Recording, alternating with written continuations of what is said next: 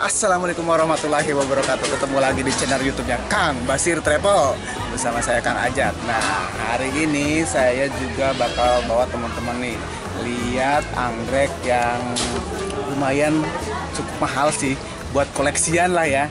Ada salah satu anggrek yang namanya anggrek Anosmum Touch of Class.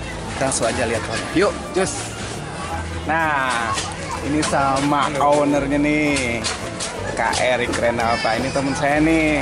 Nah jadi kalau misalkan teman-teman mau beli anggrek nih bisa hubungi nah, nah ini ada salah satu koleksi apa nih kak?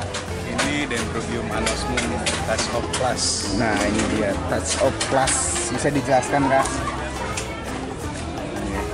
Uh, dia tuh tipikalnya kayak Dendrobium anosmum biasa, cuman dia ada uh, di bunganya tuh ada splashnya. Oh, jadi dia keunikannya itu ada splashnya. Ini kalau yang biasa kan seperti ini nih teman-teman semua nih. Yang biasa seperti ini dan kalau touch of class itu seperti ini.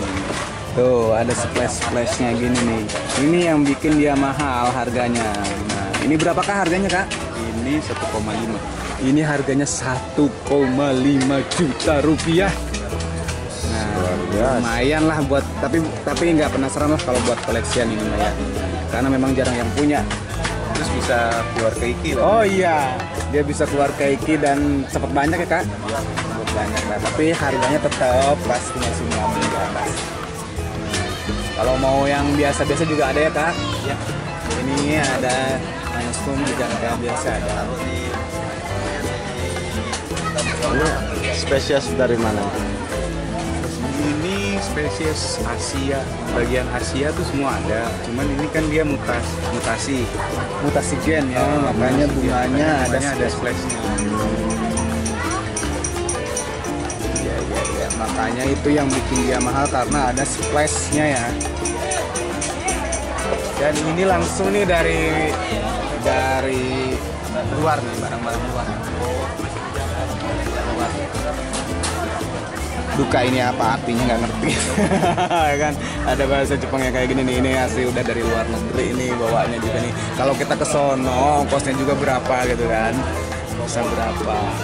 Jadi cukup di KRK aja nih. Dengan 1,5 juta anda bisa membeli ini udah mau kiri ya kak Langsung mampir aja ke sini. Oh langsung mampir ke sini oh iya lupa saya itu sekarang lagi di standnya Kak Erik di C44 ya kak? Iya. C44 di sini kamu bisa lihat jenis-jenis yang lainnya juga ada pal, ada ada askasan ruminiatum, ada ah pokoknya cukup banyak deh di sini. Ada papion juga, ada botolan-botolan juga di sini. Jadi mampir aja ya ke pameran sehati di Pona Lapa, eh di lapangan Banteng Blok C 44. Ini sampai tanggal berapa pamerannya? And Gugun Orchid. Per, per, Vernonia. Vernonia and Gugun Orchid. Sampai tanggal berapa di sini? Tanggal 8. Desember. Iya.